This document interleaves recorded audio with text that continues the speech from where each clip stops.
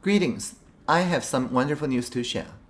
Starting immediately, Taipei Pass, the app built by Taipei City government, is teaming up with 1922 SMS contact tracing system to offer additional services.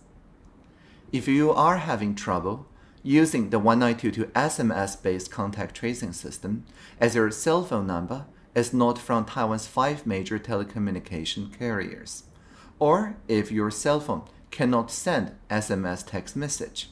Well, there is a solution.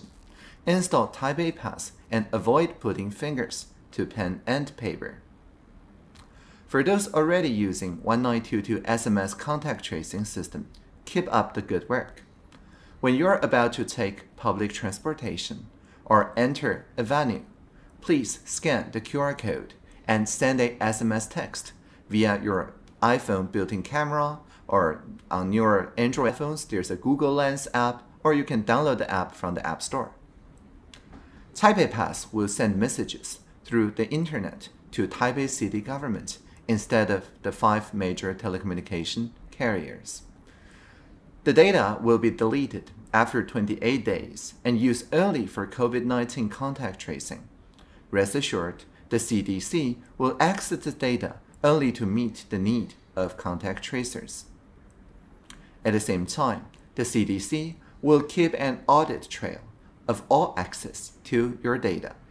This ensures the data is used only when necessary and in a secure fashion.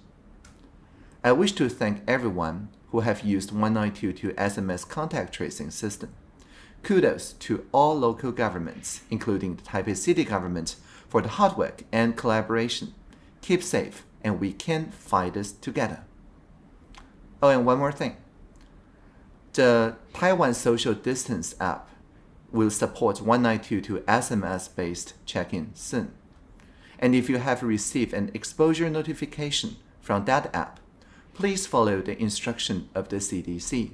Contact your local health authority or call the toll-free number 1922 to receive further assistance from public health personnel.